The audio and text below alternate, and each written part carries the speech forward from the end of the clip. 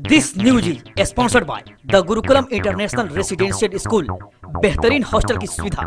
Delhi public school Daltonganj admission open fashion mall अब पाए 1500 तक की जीन्स सिर्फ़ 600 में। सिंह मार्बल एंड सैनिटेशन जमाना कितना बुरा हो गया है जहाँ इंसान अपने रिश्ते की अहमियत तक को भूल गया। कौन रिश्ते में क्या लगता है अपनी हैवानियत के सामने ये भी नहीं समझता है। रिश्ते को कलंकित करने वाली ये घटना गढ़वा की है।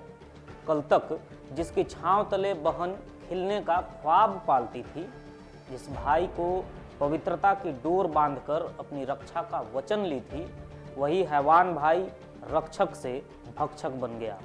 ये कुकृत्य गढ़वा ज़िले के चिनिया थाना क्षेत्र में घटित हुआ है।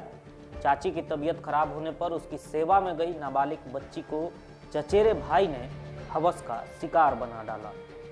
लड़का के माँ के तबीयत खराब हो तबियत खराब हो तो हमें टिना गई लड़का खुदल तो एक आके एक आके चला माई कैसे तो करत बा।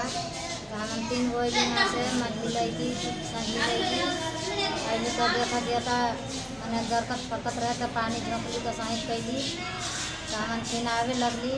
तो संजली बेटी के कहलक लड़का के माँ तू जे मत जो मैया तू हमारा घर चल गाँव में डॉक्टर बड़न तो उसको बोला तो डॉक्टर जवाब दे से नहीं बन काढ़वा ले दी तब ले आई हैवानियत भरी ये घटना सामने आने के बाद पूरे इलाके में चर्चा जोरों पर है।